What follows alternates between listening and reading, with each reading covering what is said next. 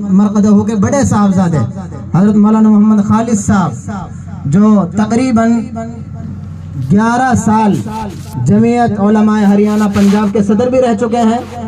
اسی طریقے سے موجود وقت میں حضرت رابطہ مدارس اسلامی عربیہ دارالعلوم دیوبند کے صدر بھی ہیں۔ تقریباً چھ سال حضرت کو اس منصب پر ہو گئے۔ اللہ ان حضرات کا سایہ ہمارے سروں پر دیر پر رکھے۔ حضرت سے میری ادبن گزارش ہے کہ تشریف لائیں۔ اور دارالعلوم اور اہل دارالعلوم کی جو قربانیاں ہیں، ان کو مختصر انداز میں پیش فرمائیں۔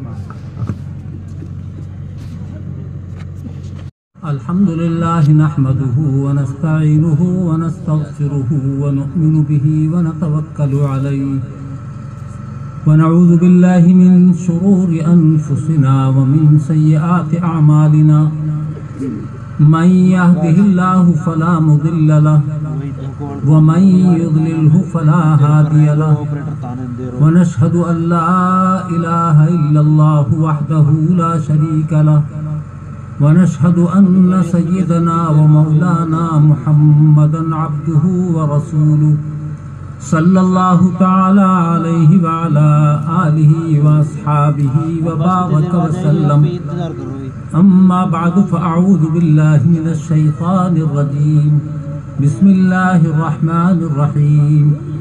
اقرأ باسم ربك الذي خلق. خلق الإنسان من علق. اقرأ وربك الأكرم الذي علم بالقلم وعلم الإنسان ما لم يعلم. صدق الله مولانا العظيم. وقال النبي صلى الله عليه وسلم خيركم من تعلم القرآن وعلمه. أو كما قال صلى الله عليه وسلم. حضرات علماء کرام، حاضرین مجلس، پیارے بچوں، اسلام میں سب سے پہلے جو وحی نازل ہوئی ہے غار حرا میں، امام الانبیاء، خاتم النبیین جناب محمد رسول اللہ صلی اللہ علیہ وسلم پر اس میں پڑھنے کا حکم دیا گیا ہے۔ اقرأ بسم ربک الذی خلق۔ پڑھیے اپنے اس رب کے نام کے ساتھ جس نے آپ کو پیدا کیا ہے۔ تو ابتدا سے ہی اسلام میں ہم کو پڑھنے کا حکم دیا گیا ہے۔ اور میرے آقا و مولا صلی اللہ علیہ وسلم مکہ معظمہ میں چند افراد جو اسلام میں داخل ہو گئے تھے۔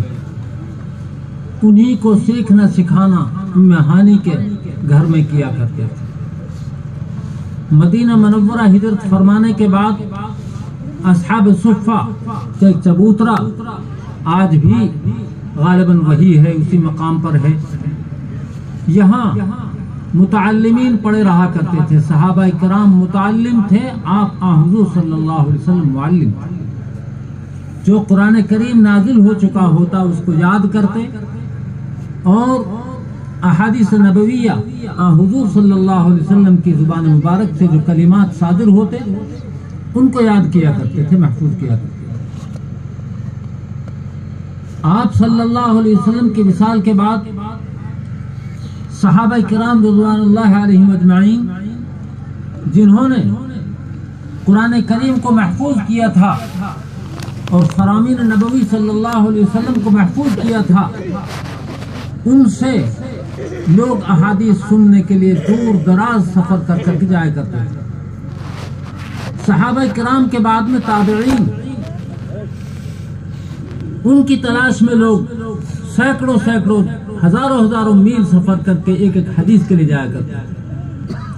آگے چل کر مسجد نبوی میں حلقہ درس لگنے لگا۔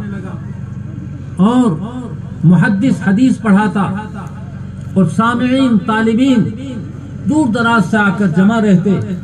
اس طرح سے تعلیم و تعلم کا سلسلہ جاری رہا۔ آگے خلافتیں آئی۔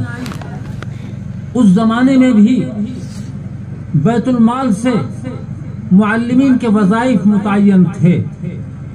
چندے کا کوئی سلسلہ نہیں تھا۔